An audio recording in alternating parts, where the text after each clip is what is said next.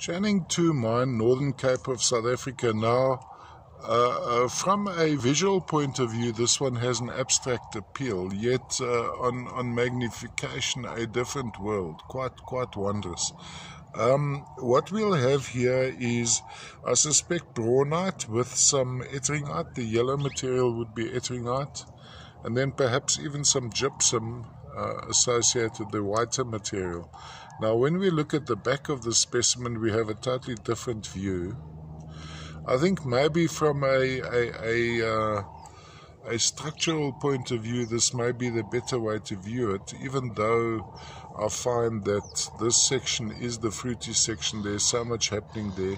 Little bit of contact, but mainly crystallization. Very, very busy section.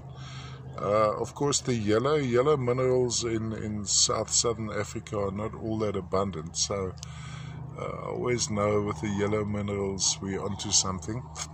This would have been material maybe here from the uh, 2015 and surrounds N'Chwaning 2 mine.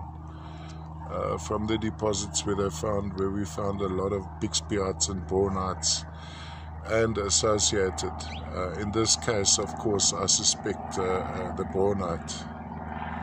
All the way from South Africa, Kalahari manganese fields in the northern Cape of South Africa. Look at that.